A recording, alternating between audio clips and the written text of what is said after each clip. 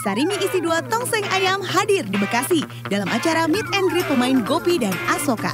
Emang paling enak ngelihat pemain Gopi sambil makan sarimi isi dua tongseng ayam yang porsinya banyak, komplit dengan ongseng ayam dan sayuran. Irit harganya dan ajib enaknya. Wah, seneng banget ya bisa ketemu pemain Gopi dan Asoka. Enak sekali. Sarimi isi dua, gurih minyak, nongseng. Dipersembahkan oleh Sarimi rasa tongseng ayam. Gurih minyak, nongseng.